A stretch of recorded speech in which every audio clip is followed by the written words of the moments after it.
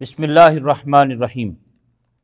حضرات اہل اسلام، الحمدللہ، اللہ رب العزت کی توفیق اور اس کی عنایت سے آج مانگا کے علاقے میں اس خوبصورت مدرسے میں ہم حاضر ہیں۔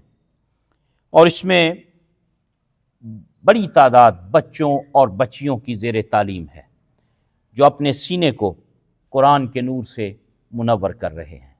نبی کریم صلی اللہ علیہ وسلم نے ارشاد فرمایا، خیرکم من تعلم القرآن و علمہ تم میں بہترین وہ ہے جو قرآن پڑھتا ہے، پڑھاتا ہے، جو قرآن سیکھتا ہے، سکھاتا ہے۔ اور کما قال علیہ صلاۃ والسلام۔ آج اس مدرسے میں ہم حاضر ہوئے۔ قرآن حکیم اور جبوں کی تقسیم کے سلسلہ میں۔ آپ حضرات کے علم میں ہے، کئی روز سے امام قاری محمد عاصم صاحب اور ان کے ساتھ میں بھی سفر میں شریک ہوں۔ ہماری Muslim community of Leeds Muslim community of Huddersfield peace meter Safa foundation Makkah مسجد، غوثیہ مسجد حضرت فیلڈ کے نمازی، ان کے تعاون سے اس پورے علاقے میں قرآن حکیم کی ڈسٹریبیوشن کا کام جاری ہے۔ غربت کا یہ عالم ہے کہ یہ بچے ایک قرآن خرید نہیں سکتے۔ جبکہ ہمارے ہاں اللہ نے ہمیں یہ توفیق بخشی ہے کہ ہم ایک نہیں، بیس، تیس، چالیس، پچاس، سو قرآن بھی ڈونیٹ کر سکتے ہیں۔ ابھی جب ہم یہ قرآن حکیم گاڑی سے یہاں لا رہے تھے تو مجھے شیخ ابراہیم کہنے لگے کہ راستے میں ایک اور مدرسہ ہے۔ انہوں نے بھی آج یہ ریکویسٹ کی ہے کہ انہیں بھی قرآن چاہیے۔ تو ہم نے کہا انشاءاللہ ہم انہیں بھی قرآن مہیا کریں گے۔ ان بچوں کے لیے یہ خوبصورت گفٹس عجبوں کی صورت میں وہ بھی یہاں پر موجود ہیں۔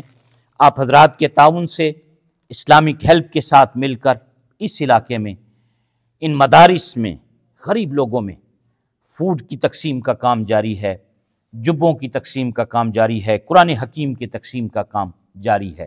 اور یہ سب آپ حضرات کے تعاون سے ممکن ہوا ہے۔ الحمدللہ، جو امانتیں آپ نے میرے سپرد کی امام قاری محمد عاصم صاحب کے سپرد کی ہم نے مستحق لوگوں تک پہنچانے کے لیے کوئی کسر نہیں چھوڑی۔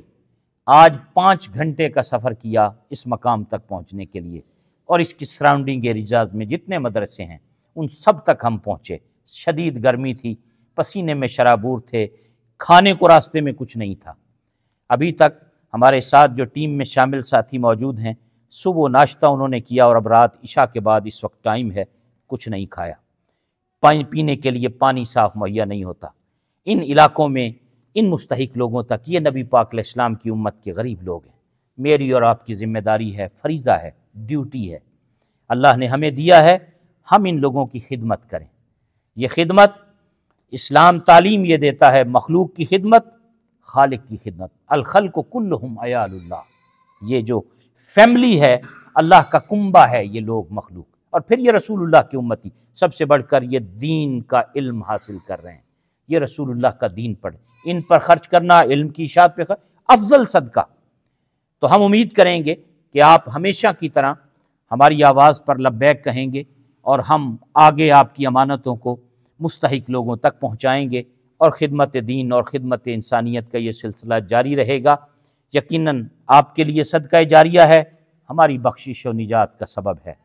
آپ کو اطمینان حاصل ہوگا کہ آپ کے شہر کے، آپ کے علماء، آپ کے امام اپنے ہاتھوں سے آپ کی امانتوں کو مستحق لوگوں تک پہنچا رہے ہیں۔